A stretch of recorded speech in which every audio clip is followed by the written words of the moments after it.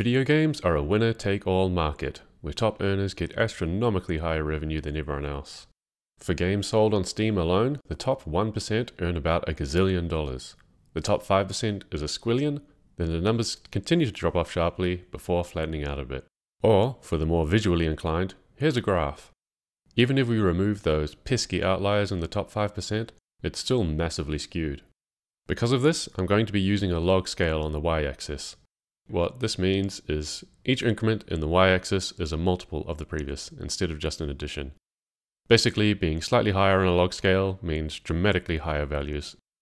So, if games are a winner-take-all market, that begs the question, what does it take to be a winner?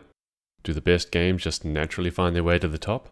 Or is that just an overly idealistic notion and there's some hidden treasure trove of indie games out there that are just as good as Portal or Zelda and nobody knows about them?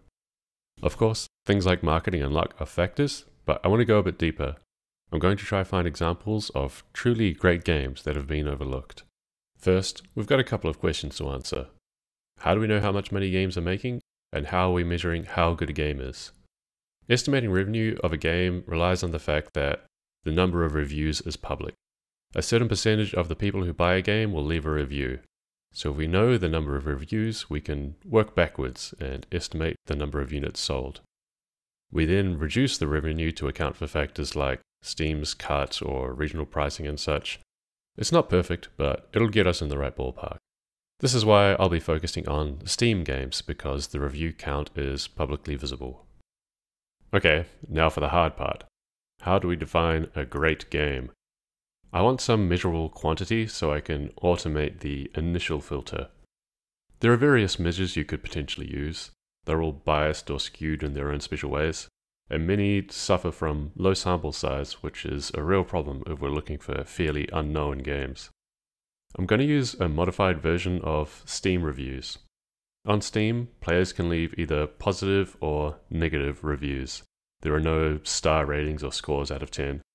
This allows us to compute a metric called positivity, which is simply the percentage of the reviews which are positive. There is one issue with this I'd like to account for though. My intent is to have a metric for how good the game is just by itself in a vacuum. But Steam reviews are often how good is this game relative to player expectations? For example, you're much more likely to leave a negative review if you spent $20 on a game that you didn't like than if you'd only spent $2 on that game. Price isn't the only external factor that can influence reviews, but it's a pretty good one and it's easy to incorporate. All I did was scale the negative reviews based on the price, essentially magnifying the effect of negative reviews on cheap games. This still isn't perfect though, so my plan is to just use these automated methods to find a short list of potentially great games which appear to be underperforming. After that, I'm going to manually go through what's left and see what I find.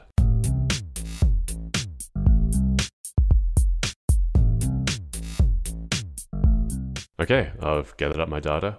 How does this look? Well, here you go. Now, first I need to clarify what's even included in this data. I can't feasibly estimate the revenues of free games which rely on in-game purchases, and really cheap games are also a bit problematic, so I'm excluding anything under $4. I'm also filtering out games with fewer than 50 total reviews or fewer than 5 negative reviews. I really didn't want to have to filter out these so aggressively, since the whole point is finding lesser known games. But I found without this, there were just so many high rated games which were clearly not all that great. And I'm assuming it was all the developers' friends and family piling on with positive reviews. I'm also limiting to games released in 2010 or later, where digital distribution started taking over. Back to the graph. I'm still using the log scale on the y axis.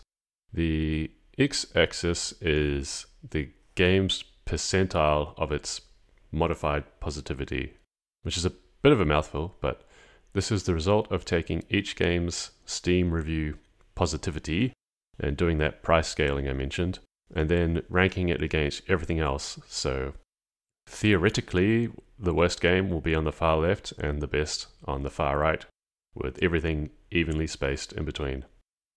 Now, you might be wondering what's going on with that bottom right section of the graph. Also, you may have noticed that the y-axis doesn't start at zero.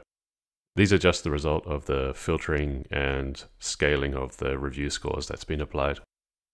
As an aspiring game developer myself, when I first saw this, I was pretty dismayed. There is a vague correlation going on between rating and revenue, but so many high rated games are far below the revenue you'd expect from a great game. Like, in theory, these are in the top 5% of games in Steam, but they're earning like 40k. Making a great game is incredibly difficult, but imagine you actually pulled it off.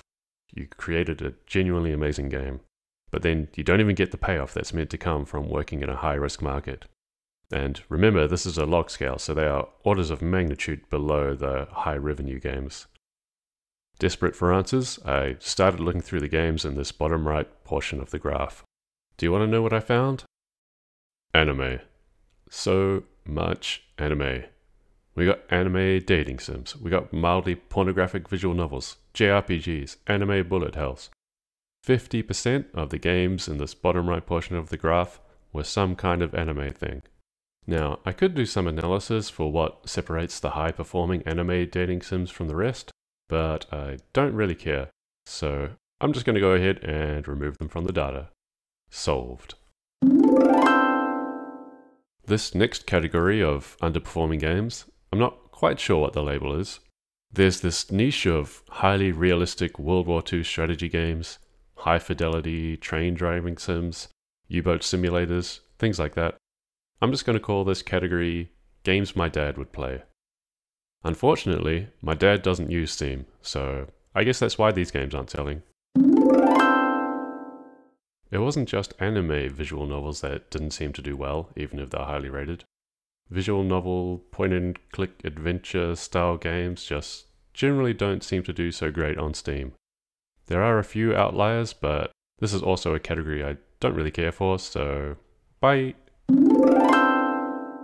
There's a few other smaller categories in this highly rated yet low revenue zone.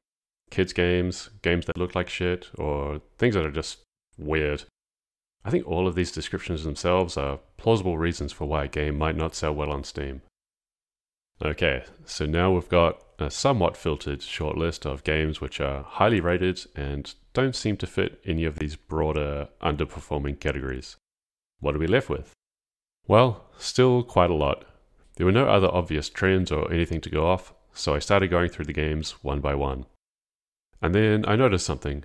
A lot of these games just did not seem great. None of them were bad either, but they didn't scream top 10% of all games to me. They were just fine. I know all this stuff is subjective, but I feel like there was a very clear difference between a lot of these games and games like Superhot or Factorio.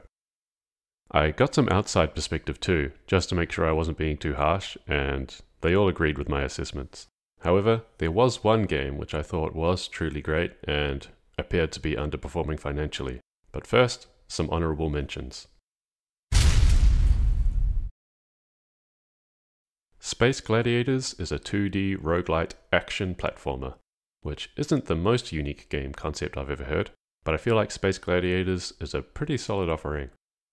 When I played this, it was quite clearly not as good as games like Dead Cells or Rogue Legacy, but it really didn't feel too far off.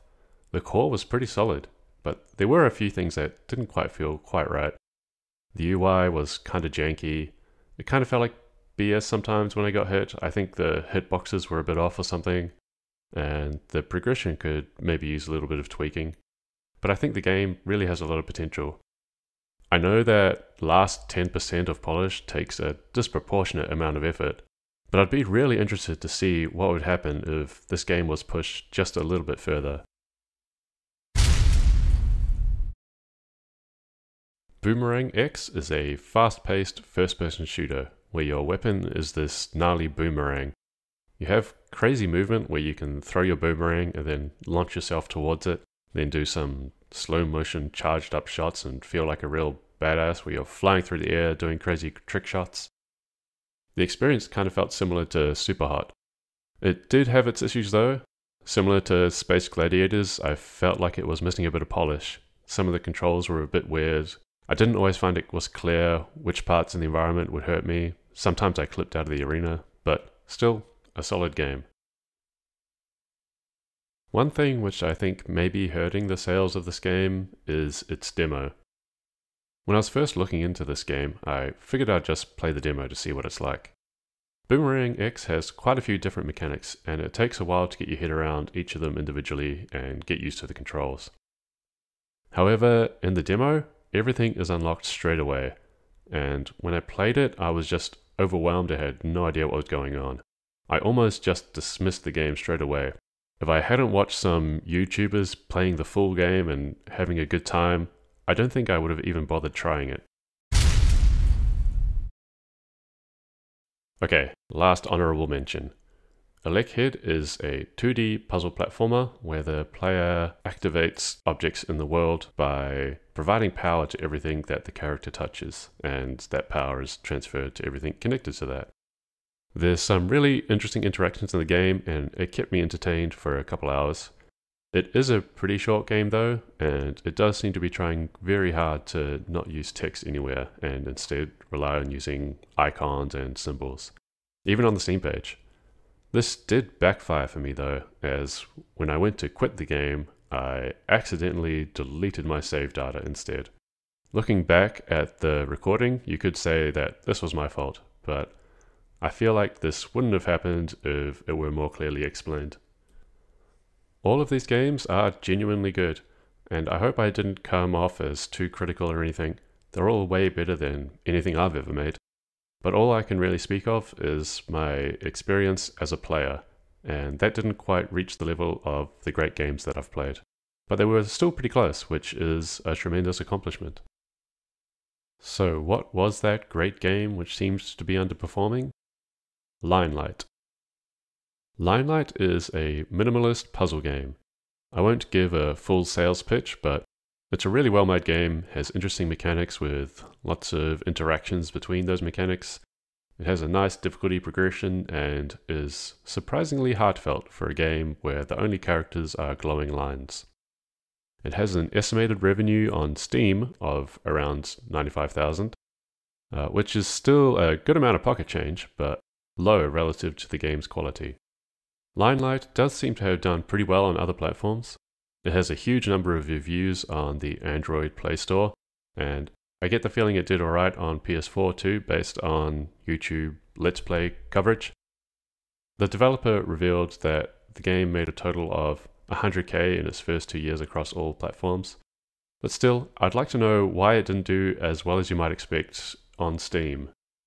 My first theory for why it might not be selling well on Steam was that the visual style might be off putting to that player base. I think a lot of players on Steam would see a game like this and assume it's too casual for their liking or some mobile game, not for those hardcore gamers. So I decided to split out all other games with tags like casual, minimalist, relaxing, and they did indeed seem to perform quite poorly on Steam. There were a couple of outliers though, Mini Metro and Mini Motorways. Both Mini Metro and Motorways were released by the same developer, with Mini Metro being released first. So Mini Motorway's success would probably be leveraging a lot of the recognition from Mini Metro. So Mini Metro seemed like it would be a more pure point of comparison with Linelight. So what is Mini Metro?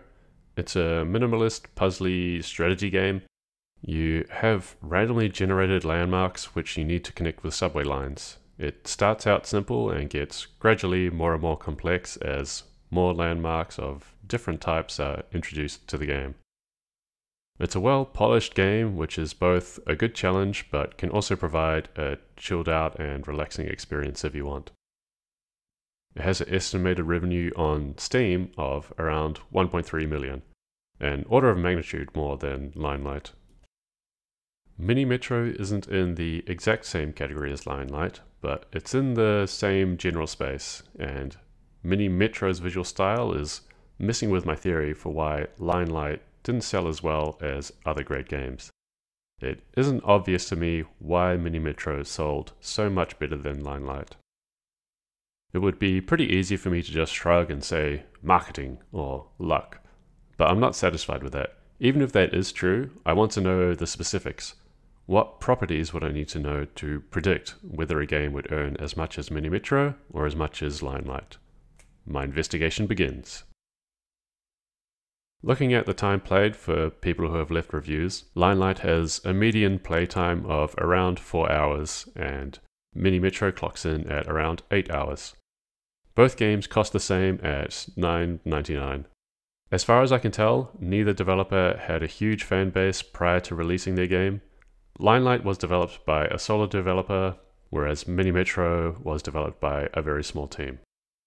I enjoyed Linelight more than Minimetro, and Metacritic seemed to agree with me, which made me even more interested in finding an explanation for the difference in sales. Let's take a look at each game's marketing. Here's my best assessment of what happened in each case.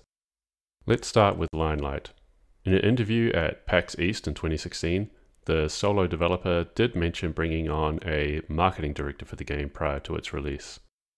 Based on the in game credits, I assume this is referring to Novi Unlimited. It looks like this marketing was mostly around journalists and various trade shows. There didn't seem to be much coverage by large YouTubers, and the Twitch viewer numbers looked low, so I'm guessing there were no sponsored streams either. What about Minimetro? Well, they did their rounds at the trade shows too. It's a fairly similar list to Linelight, but slightly upgraded. They had a PAX mega booth compared with Linelight's mini booth, which would have brought some more exposure. I'd have to give a slight edge to Mini Metro, but we're not talking an order of magnitude difference here. And if we look at the historical player counts on SteamDB, Mini Metro had more players when it first went into early access than Linelight has ever had. So there's something else going on here. I found a Minimetro postmortem on GameDeveloper.com, which is apparently the new name for Gamasutra, uh, which gave some insights that I think explains what's going on here. The first major factor is that Mini Metro was initially extremely accessible. The early versions of the game were available for free and were playable on their website. From the article, the first release of Mini Metro's playable alpha was in September 2013. We designed the website around the web player. It was front and center on the index page, not hidden away behind a button. The game was quick to play, relatively intuitive, and had a virality that the accessibility of the build played into. Hey, check out this site, you can make your own subway map. The second is that it is a relatable concept. We've spent a lot of time over the past couple of years trying to figure out exactly what it is about Mini Metro that resonates with its players and enabled it to be a success. One thing we come back to is the relatableness of the concept. If someone has had experience with a public transit map, then they'll likely understand what Mini Metro is from a screenshot. The game sells its concept well. Inadvertently, we made a game that communicates the idea of itself very well. It sells itself not just to traditional demographics, but because it relates to an everyday concept, normal people got sold on it too. The last factor is that in Minimetro, the player is creating something.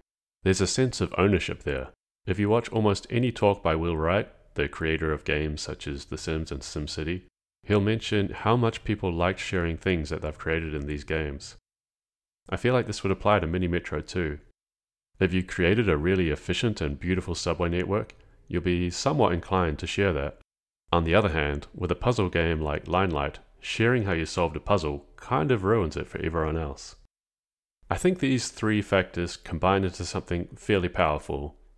The game's understandability and players' sense of ownership, combined with how accessible it was, could lead to a massive amount of organic marketing which would probably generate exposure for the game equivalent to an enormous marketing budget.